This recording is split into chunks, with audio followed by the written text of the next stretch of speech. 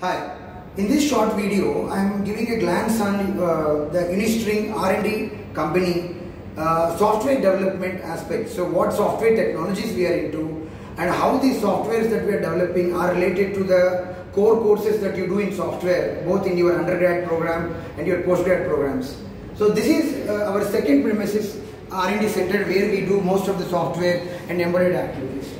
So the video in which I have shown the capabilities of Unistring in developing the digital hardware, RF hardware, and an arrays for the military equipment, uh, more or less these are the, all the circuits, they, they require a rich amount of signal processing logic and a real-time implementation because most of these military applications do demand wide bandwidth and high data rate um, applications. So we use FPGA as our key uh, subsystem. So let me take you to one of the lab where we develop uh, and where we actually test uh, rigorously FPGA based systems.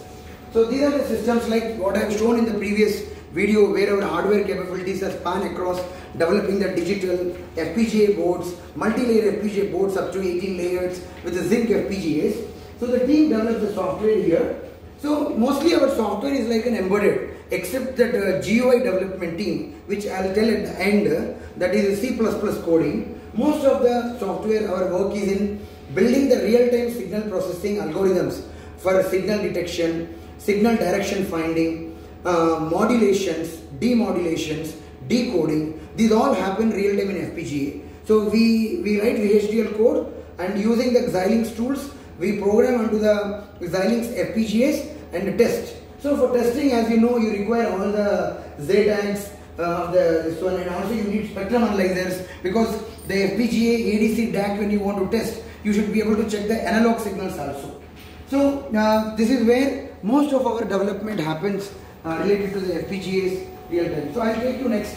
So our, our next critical division uh, is signal processing. So we developed the signal processing algorithms um, related to electronic warfare mainly uh, what you call array signal processing that related to the detection, direction finding, location fixing. So once we initially conceptualize the algorithm, based upon the necessity, uh, the real-time performance that is needed, either we implement VHDL based implement, go for implementation or uh, embedded implementation on DSP processors, i7 or i5 kind of SBCs.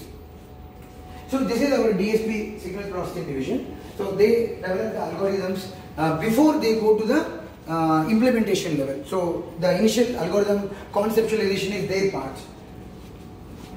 Half of our software staff are related to C coding or C++ coding, that is embedded C coding or C++ coding. So we uh, develop the algorithm in uh, mostly Linux based operating system, but some of our products are also onto Windows based. And uh, once the embedded logic is running in the single board computers, uh, for the operators to get a rugged display. So they use rugged displays in which uh, we run this software with C++ and build the GUI, graphical user interface, where uh, maps and other uh, display related aspects are taken care.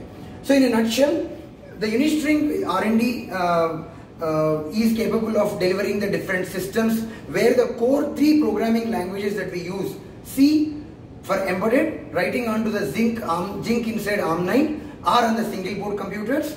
VHDL, where we write the code for FPGAs for real-time implementation of signal processing, data paths and all. And uh, C++ that we use for graphical user interface. Thank you.